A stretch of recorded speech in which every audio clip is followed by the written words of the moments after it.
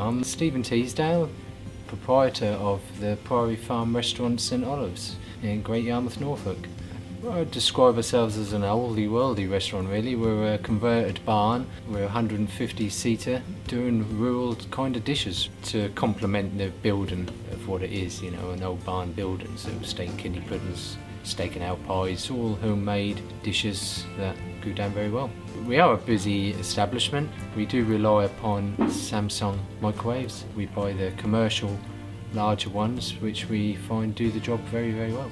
Using these microwaves enable us to multi-portion and get out the dishes very quickly. We like to prep up our vegetables which are all fresh produced vegetables and then we pre-portion them and reheat them in the commercial microwaves.